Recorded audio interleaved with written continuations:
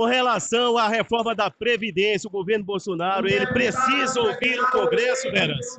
Ele precisa ouvir o povo, ele precisa ouvir a classe trabalhadora, porque essa proposta de reforma da Previdência é só para acabar com os mais pobres, com os que precisam da Previdência Pública. Obrigado, deputado. Eu que agradeço. E aqui vamos trazer mais elementos na nossa audiência. Obrigado. Boa audiência. Antônio Sedergi para a RAC TV.